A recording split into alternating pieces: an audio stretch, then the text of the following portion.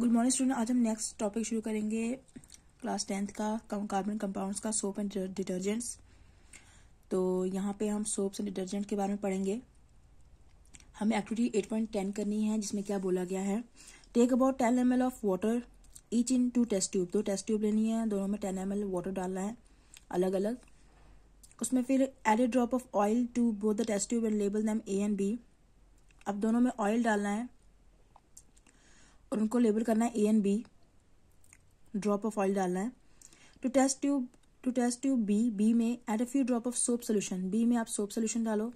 Now shake both the test tube vigorously for the same period of time अब दोनों को हिलाओ अच्छे से।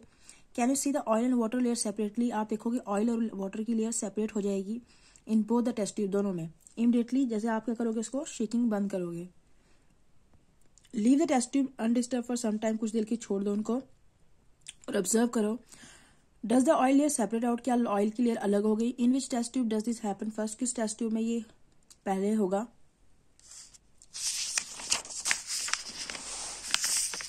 अभी एक्टिविटी हमें क्या बताती है कि सोप का क्या इफ़ेक्ट है क्लीनिंग पे?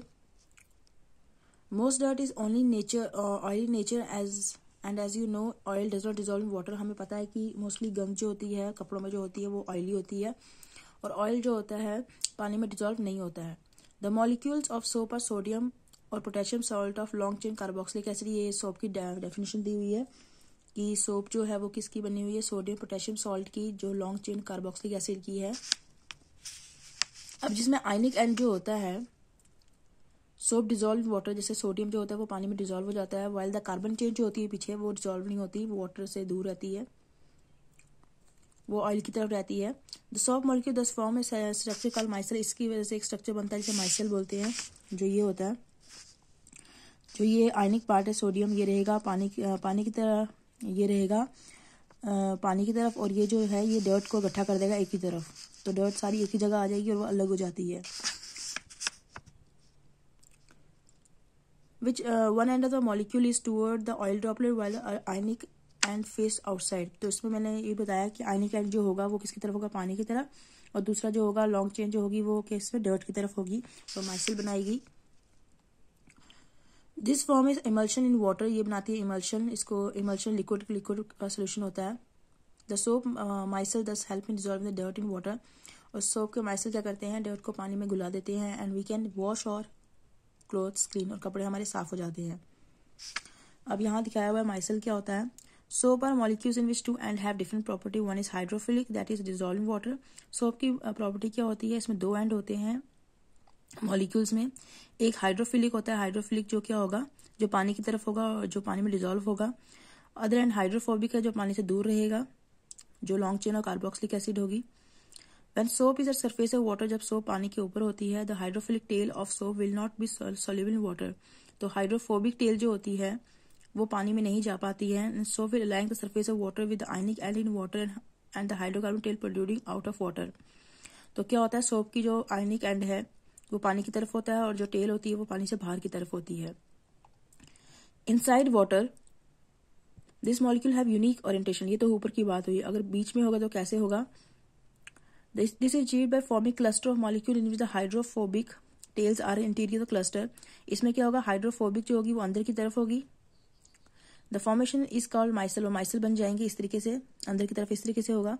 Soap in the form of micelle is able to clean अब सोप जो होती है माइसल की फॉर्म में होती है, साफ़ कर सकती है कपड़ों को। Since the oily dirt will be collected in the centre of micelle तो जो गंध होती है, वो कहाँ पे सेंटर में इकट्ठी हो जाती है माइसल के।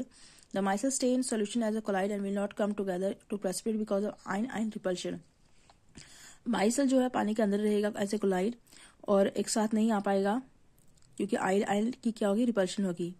Thus the dirt suspended in the micelle is easily rinsed away. तो गंद इसलिए बाहर चल जाएगी। The soap micelle are large enough to scatter light soap micelle जो होते हैं लाइट भी स्कैटर करते हैं।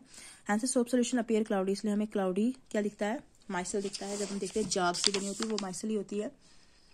अब दूसरी इन्होंने एक्टिविटी बोली हुई एट पॉइंट इलेवन आपको eleven ten M L distil water लेना है।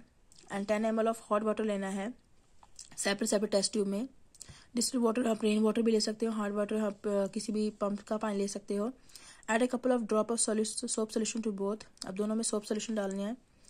उनको हिलाना है सेम टाइम के लिए और उनमें फोम बन जाएगी। In which test tube do you get more foam किसमें फोम ज़्यादा होगी? In which test tube do you observe white curdy precipitate किसमें एक प्रेसपिरेट से बन जाएँगे? If hard water is not available in a locality, prepare some hard water by dissolving hydrogen, carbonate, sulfate, chloride of calcium और magnesium water अगर hard water नहीं मिलता है तो पानी में कार्बोनेट्स मिला सकते हैं मैग्नीशियम मिला सकते हैं। 8.12 एक्टिविटी में क्या बोला गया है? Take two test tube with about ten M L of hard water in each दो टेस्ट ट्यूब लेनी है और दोनों में हार्ड वाटर डालना है।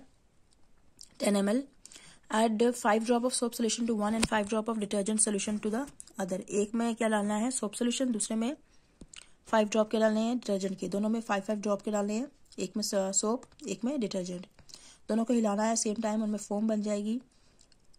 Do both test tube is curdy solid form क्या? दोनों में एक कर्डी सॉलिड सा बन जाएगा, नीचे कुछ बैठ जाएगा। तो किसमें बनेगा?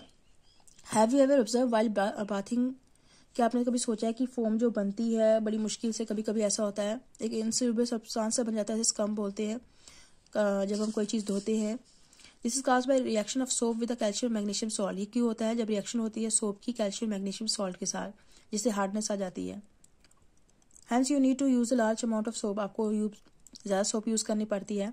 This problem overcome by using another class of compound का डिटर्जेंट ये हम कम कर सकते हैं अगर हम डिटर्जेंट यूज़ करें as a cleansing agent detergent जो होते हैं वो अमोनियम पोटेशियम अमोनियम और सल्फेट साल्ट होते हैं लॉन्ग चेन कार्बोक्सिलिक एसिड के। वो सोडियम और पोटेशियम के थे, ये अमोनियम और सल्फेट सल्फोनेट है।